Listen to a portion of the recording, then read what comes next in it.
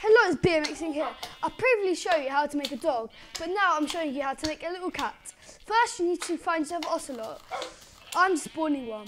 Then you've got to get some fish, wait for the ocelot to come to you at this position, and just right click on it, just like how you make a dog.